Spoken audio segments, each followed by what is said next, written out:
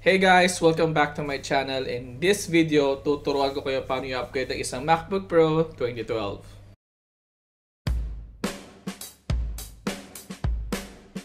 So, welcome sa technical side ng ating video. So, what's wrong with this MacBook Pro?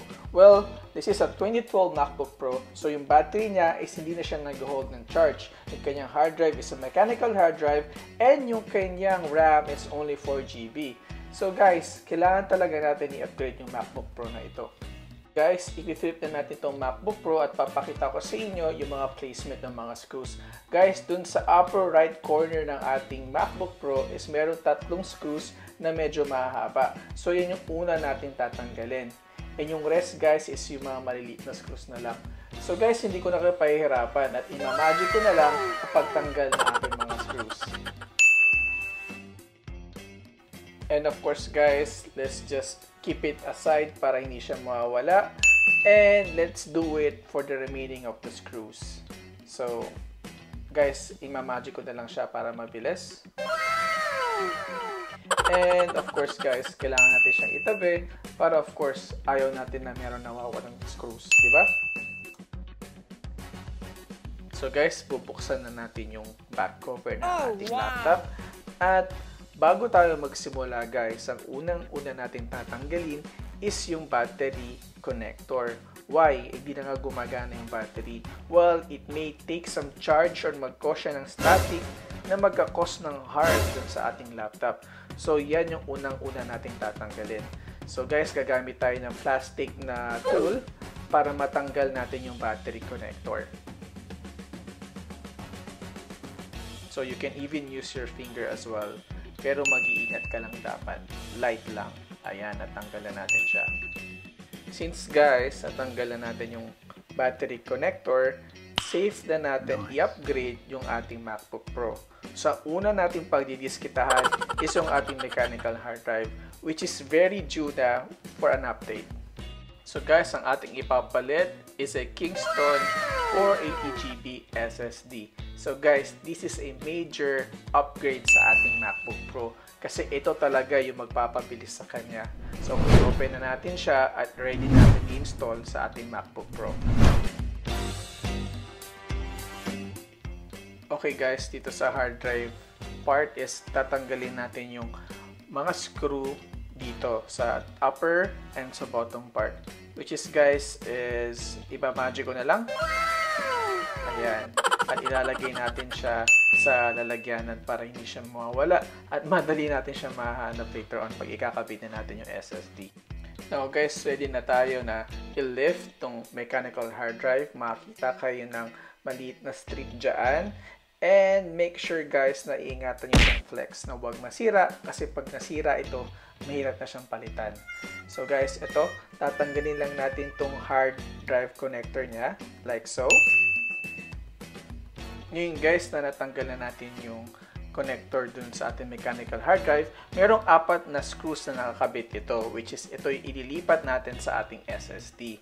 So guys, gagamit tayo ng special screwdriver, which is papakita ko sa screen. At guys, malaki na kayo to figure out kung ito ba yung mag-fit sa inyong screwdrivers. So guys, papakita ko sa inyo paano ko to tatanggalin. Yung isa lang. Tapos yung rest guys is mamagicking ko na lang kasi hirap naman ipakita ko sa inyo yung full process pa, di ba? So, ayan guys, yung magic. So, itong screws ay itatabi lang natin dyan para hindi sila mawala. At yung ating mechanical hard drive is isasantabi lang muna natin at ilabas ang SSD. So, ito guys is ilalagay na natin yung isang screw. Turo ko lang sa inyo paano yung isa para sabihin nyo naman nag demo ako. At yung the rest guys is, you know the drill. Imamagic na lang natin siya.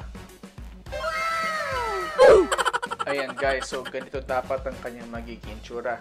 Make sure guys yung ating mga screws ay very tightened. So ikakabit na natin yung connector ng hard drive sa ating SSD at ipi-place natin like so. And guys, please don't forget na ilagay itong ating hard drive placer sa upper part ng ating hard drive. And isuscrew natin siya together with the upper screws and the lower screws. So this time guys, hindi ko siya ima-magic at ipapakita ko sa inyo kung paano ko siya isuscrew. Fast version nga lang. Para hindi kayo maboard. And make sure guys na tighten yung ating mga screws. Next up guys is yung ating battery. So tatanggalin lang natin tong uh, stickers lightly to make sure na Oh, matanggalan wow. yung mga dikit-dikit dyan para madali nating man-lift yung ating battery. So like this, oh, may nakasabit. So once ito ay na-clear na, merong dalawang screws dito sa right and sa left. Yan guys, since natanggalan natin siya, meron ditong strip na pwede nating hilahin at careful lang at tatanggalin natin tong battery. It should come up really quick.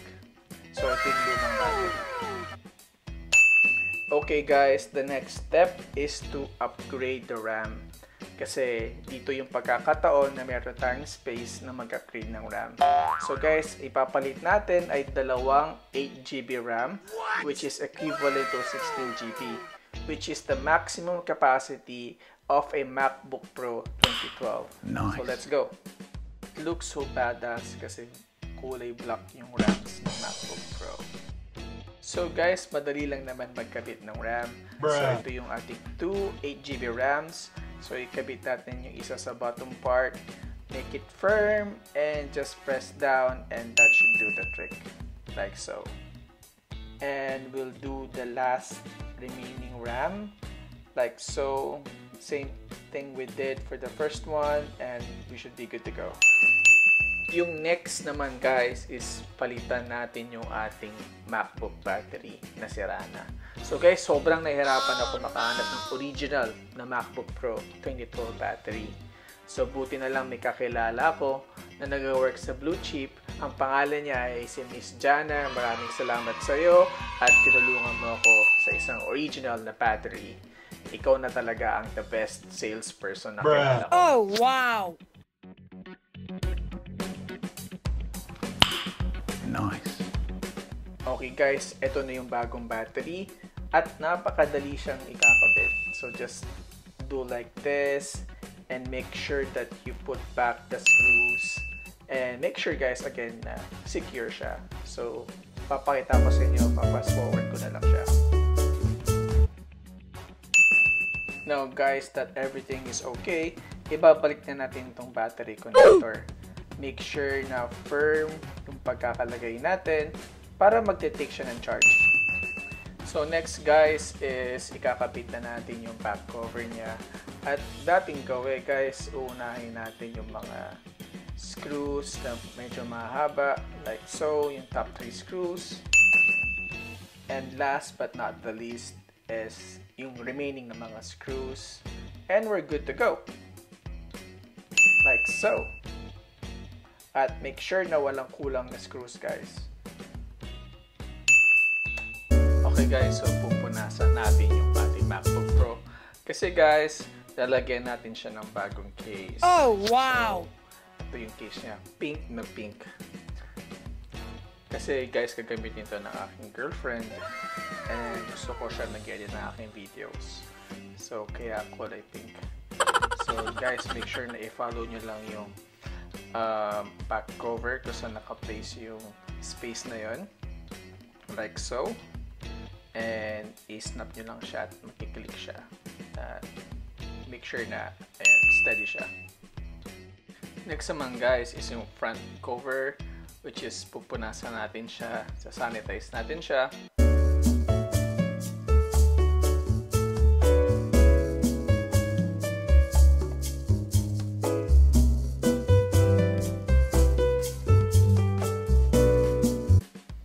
And ilalagay na natin yung front cover niya like so. Ayan. So, ang ganda na tignan ng natin. So, para siyang bago. Alright. Okay guys, so gagamitin na natin tong MacBook charger. Kung natatandaan nyo guys, ito yung MacBook charger na inayos ko sa aking unang Tech Tuesdays. So ikabit na natin tong charger na to using the MagSafe and let's plug it to the outlet. Ayun na nga guys, na ikabit ko na siya sa outlet at makakakita kayo ng green indicator na meaning na connected na siya at magto-turn orange meaning nagcha-charge na yung battery natin. So it's time to open the Mac. Okay guys, so i-open yung MacBook Pro by pressing the Alt, Command, and R and press on the power button. So hold nyo lang siya guys until lumabas yung logo ng internet. Like yung globe thing. Bruh. And then, pwede nyo nang tanggalin yung kamay nyo and wait it to load and it will ask you to connect to your Wi-Fi. So, if I fast forward ko na lang guys. Oh shit. Here we go again.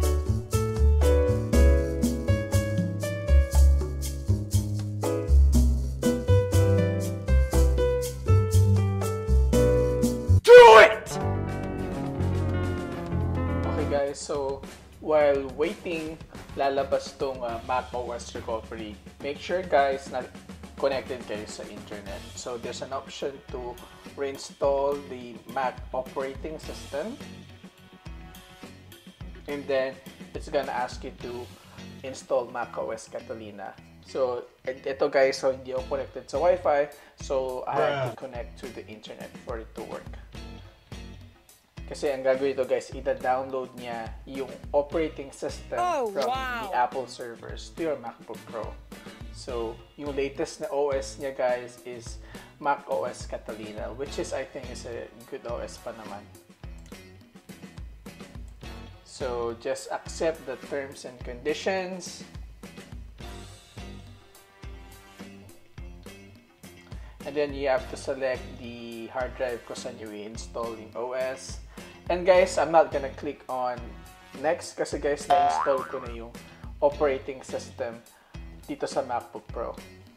First guys, depende yung bilis nung install ng ating operating system sa internet nyo, of course. So let's boot the Mac na guys, which is a really really good improvement within the boot times. Lalo na at meron na tayo SSD at 16GB RAM.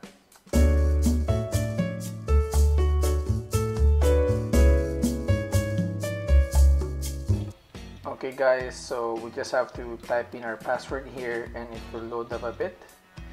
And once we see the desktop of the Mac, which is quite fast, so pupunta tayo dun guys sa battery options and settings. Papalitan lang natin yung uh, duration to never. Kasi guys, ayoko nang nakisleep or natutulog yung MacBook Pro ko. So, i-close lang natin to. And then, we'll go to the About Mac. At ipapakita ko sa inyo yung RAM, which is 16GB. So, that's very good. That's 8 gigs of RAM each. At ito yung ating SSD. And yeah, this is the whole overhaul of our MacBook Pro 2012.